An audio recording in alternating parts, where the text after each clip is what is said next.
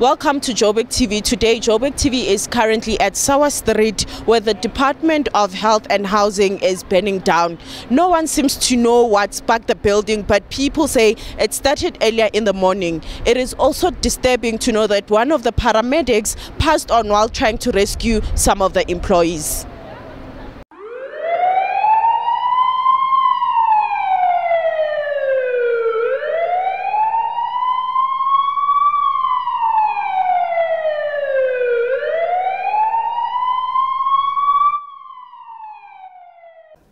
As the building was burning, residents of Johannesburg stood outside in shock as they watched the building getting burnt.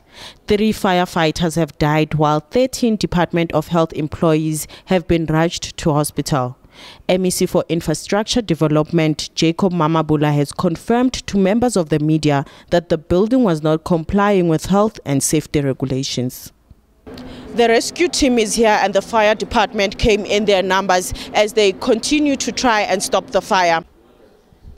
The City of Johannesburg Mayor Herman Mashaba has called upon Premier David Makhura to probe the circumstances that led to the fire. From Joburg TV, Crown Live.